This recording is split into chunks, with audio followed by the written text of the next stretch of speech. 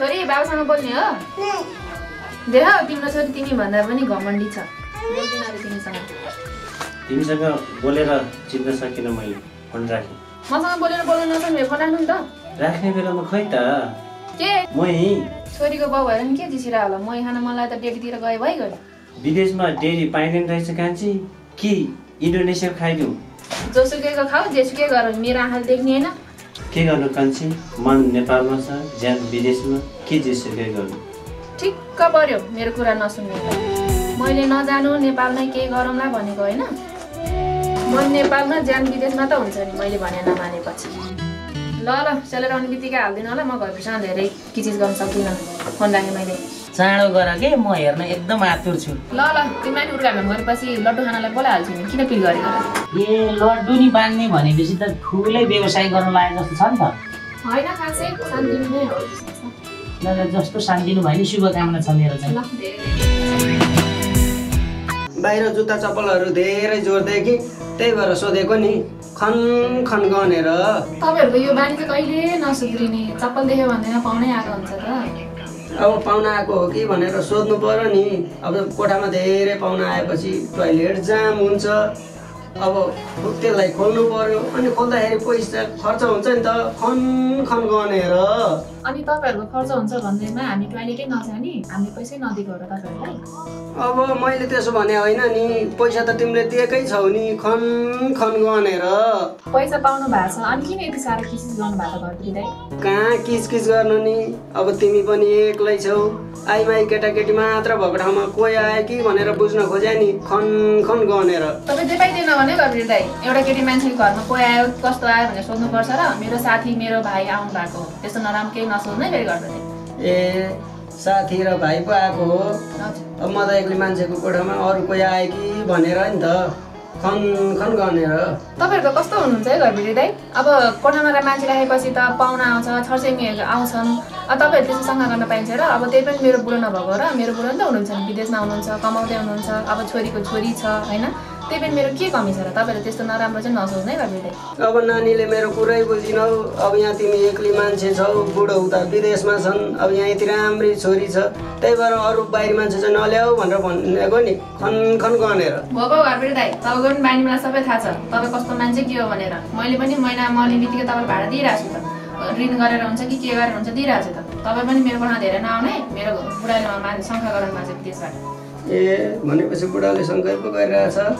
ठिकै छ नि त त्यसो भए म महिना मरेपछि आउँछु नि त खन खन गनेर मुखले चाहिँ ठिक्क पार्छ। घरमा त्यति राम्रो बुढी छ केटी कता कता छ भनेर कोठा कोठामा चाड्दै हिँड्छ। हेलो। खाना खाए सानो? अँ खाना खाएँ। तरकारी चाहिँ के बनाएको थियो नि सानी? अँ गुन्द्रुकको तरकारी खाएँ। छोरी के गर्दैछ? छोरी सुतिरहेको छु अब मेरो एक हप्ता जति नाइट ड्युटी चल्छ अब फोन गर्न पनि भ्याउँदैन। त्यो पछाडि चाहिँ फोन गर्छु तिमीलाई। अनि एक हप्तासम्म नबोलिकन बस्न सक्नुहुन्छ? हाम्रो याद आउँदैन तपाईँलाई? हेर सिस्टी त्यो मेरो हाकिम नभएको बेलामा तिमीलाई सुटुक्क पैसा निकालेर दिन लागु। त्यसले थाहा पायो भने त फेरि कस्तो कराउँछ कस्तो किचकिचेछ त्यो। त्यसलाई थाहा नहोस् नि है। उसले थाहा नि पाउँदैन पूजा। बुढाले पठाउने बित्तिकै दिइहाल्छ। हेर सिस्टी पुरै एक लाख रुपियाँ छ फेरि यो पैसाको सम्बन्ध साह्रै नराम्रो हुन्छ।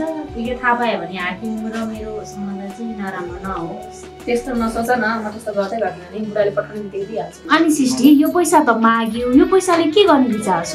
अलिअलि साथीको ऋणहरू पनि छ त्यो तिर्छु अनि बाँकी रहेको पैसा चाहिँ यसो के गरौँ कि भन्ने सोच कति एक्लै बस्नु कि त्यही भएर। ल ल सिस्टी जे गर्नु छ गर तर पैसा चाहिँ नफस है। ल ल तिमी दुःखबाट धेरै गुम्लेको छौ यो गुम्नु कहिले बिर्सिनु ल दिदी। भाइ कति पठाएको रहेछ भेनाजुले पैसा? यदि एक लाख रुपियाँ पठाउनु पर्को रहेछ। हाम्रो दाफे बहुद्देश्य सहकारी सातोबाटोमा रहेको अफिसमा पठाउनु पर्दो रहेछ त्यहाँ आइने थियो। अनि भेनाले पहिला घरबार तिर्नु रे त्योभन्दा पछाडि भान्जीलाई स्कुल पठाउनु रे बाँकी उफ्रेको पैसा त हजुर जे जे गर्नुहुन्छ गर्नुहोस् अनि एक हप्तासम्म त बोल्न मिल्दैन भनेको थियो त अनि त पैसा त पठाएछ तिमी भेनासँग जहिले झगडा गर्नुहुन्छ रे राम्रो बोल्दैन रे। अब कमाउन जानुभएको भेनासँग त्यस्तो कहिले पनि गर्नु हुँदैन आखिर पैसा पठाउनै रहेछ तिम्रो नाममा पठाएछ। मैले कहिले झगडै गरेको छैन नि भाइ बिनासँग ल दिदी पैसा राखिहाल्नु अब भेनासँग सल्लाह गरेर भान्जीलाई कुन स्कुल हाल्ने हो हाल्नुहोस्। अनि त्यो घरबेटीको चाहिँ तिरिहाल्नुहोस् न फेरि। म भेनासँग पनि सल्लाह गर्छु। कुन स्कुलमा राम्रो हुन्छ यसो बुझ्न। भान्जीलाई कुन स्कुल हाल्ने म बुझिदिउँ ल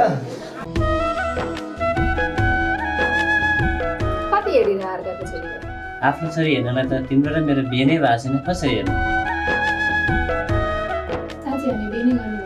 अनि हामी यत्रो दिन हाँस्यो खेल्यो घुम्यो सबै कुरो बिर्सिने अनि तपाईँले मलाई बिर्सिन सक्नुहुन्छ त बिर्सिनु त कुरै छोडिदेऊ तिमीलाई नसम्झी त खाना त रुच्दैन यति धेरै माया गर्नुहुन्छ मलाई मायाको त कुरै छोडाउ सानो मिल्ने भए म तिमीलाई निलिदिन्थेँ यति धेरै माया गर्छ तिमीलाई धेरै माया गऱ्यो भने अरू आँखा लाग्छ अरू चाहिँ के को आँखा लाग्नु माया गर्ने मैले सधैँ यसरी भेटेर मात्रै हुँदैन भर्खर न सानो भर्खर त हामीलाई लग परिरहेको छ एक दुई महिना घुमाउँ रमाइलो गराउँ अनि पछि पो बिहे गर्ने त। अहिले त कुरा गर्न थालिसके छर्छेकिने इष्टमित्रहरूले एक दुई महिनापछि त के होला के होला? हे सानो छरछमेको कुरा छोडिदेऊ। तिमीले मलाई माया गर्ने मैले तिमीलाई माया गर्ने। पछि गएर तपाईँको मन परिवर्तन भयो भने मैले के गर्नु?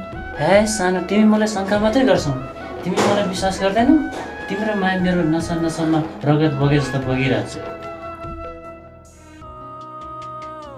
के चल्छ तेरो बाउलाई सम्झिँदैछु नमस्ते सर नमस्ते नमस्ते मलाई चिन्नुभयो को बोल्नु भयो होला सर म अस्ति थिएँ त विदेश जाने भनेर चिने चिने जस्तो चाहिँ लाग्यो तर ठ्याक्कै ठम्ब्याउन चाहिँ सकिने भने म सृष्टि के पूजाको साथी ए ए ए तपाईँ पो अब चाहिँ चिन्नुभयो सर चिने चिने अब त छर्लङ्गै चिनिहालेँ नि कता हुनुहुन्छ सर घरतिर हुनुहुन्छ कि अफिसतिर हुनुहुन्छ कहाँ हुनु अफिसमै त हो नि अनि खाना खानुभयो त सर यति बेला भइसक्यो कहाँ यतिखेरसम्म भोकै बसिन्छ?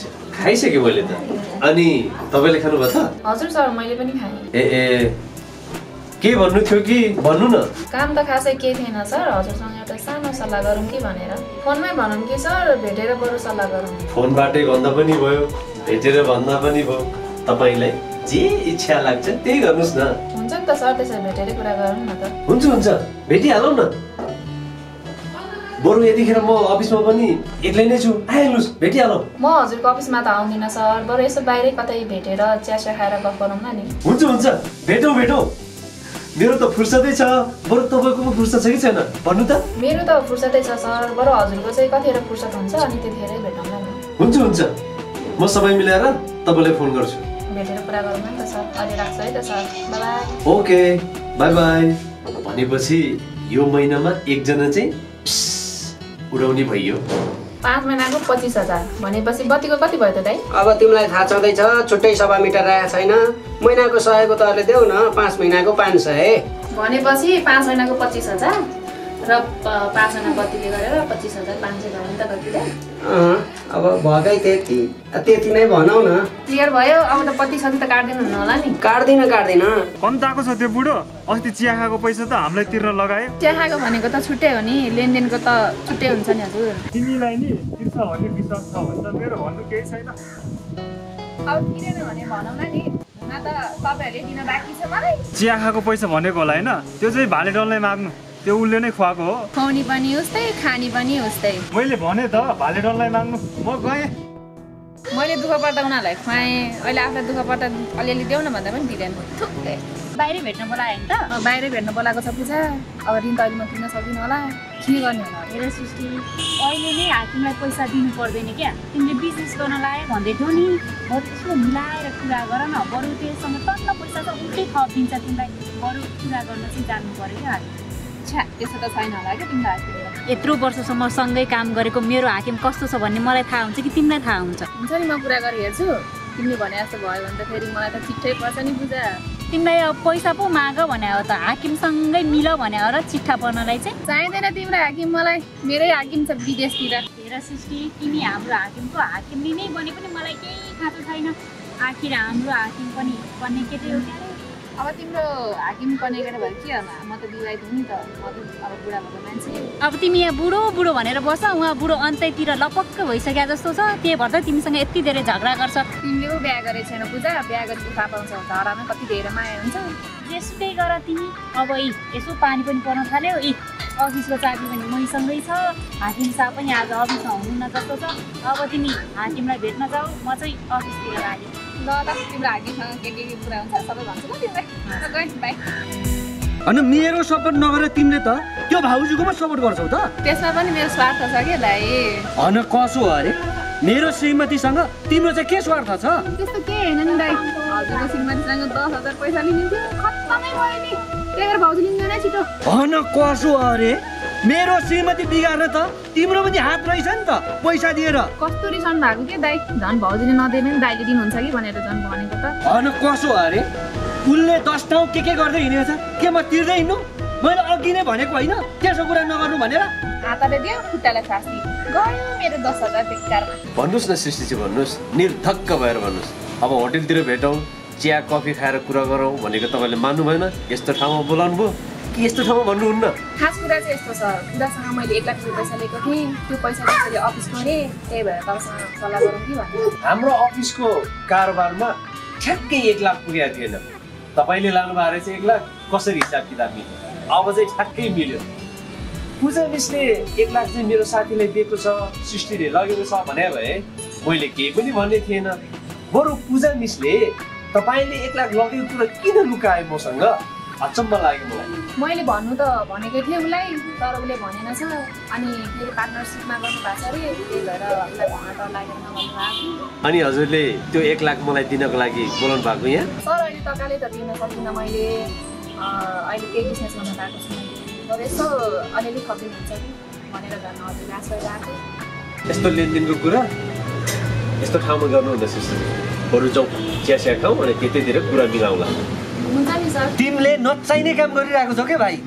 योन्जन हर्बल चिया पिउँ रोग भगाउँ रगत सफा राखौँ सधैँ स्वस्थ बनाऊ टिका भैरव मिठाई उद्योग मिठाई खाऊ स्वच्छ शुद्ध र ताजा खाऊ स्वस्थ रहौँ। काठमाडौँ उपत्यकाको सम्पूर्ण भाटबटिनीहरूमा उपलब्ध छ। डाँफे शुद्ध जल स्वास्थ्य जीवनका लागि शुद्ध पानी। हाम्रो प्रतिबद्धता दुधमा आत्मनिर्भरता एक गाउँ एक उत्पादन दुग्ध विकासमा हाम्रो योगदान। मार्पा एग्रो फार्म हाउस दुग्ध उत्पादन तथा सङ्कलन केन्द्र गोदावरी नगरपालिका साथ ललितपुर। प्राकृतिक योन्जन हर्बल चिया पियौँ रोग भगाऊ हाम्रो शरीरको रगतमा रहेको टक्सन विकार तत्त्वलाई फालेर सुगर प्रेसर दम बाथ कोलेस्ट्रोल पथरिया माइग्रेन थाइरोइड मानसिक रोग हड्डी खिएको हाड जोड्नीको दुखाइ नसा च्यापिएको पेट रोग पायल्स कब्जियत ग्यास्ट्रिक अल्सर गानागोला फिनास छाला रोग नाक कान घाँटी यौन रोग मैला रोग साथै अन्य विभिन्न प्रकारका रोगहरूलाई